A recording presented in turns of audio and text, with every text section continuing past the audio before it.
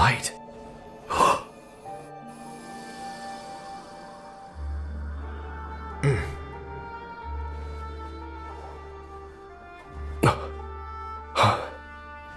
Apologies, Captain Dainsleif, Twilight Sword.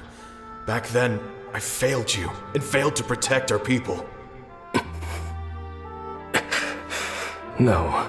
For 500 years, you have faithfully done your duty. To this day, I am proud of you all.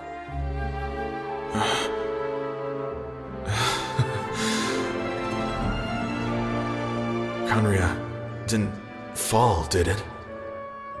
Since you're still here.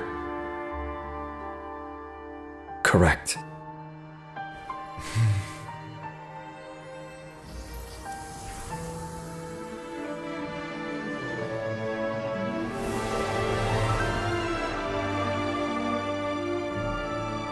So, no need to revive the homeland.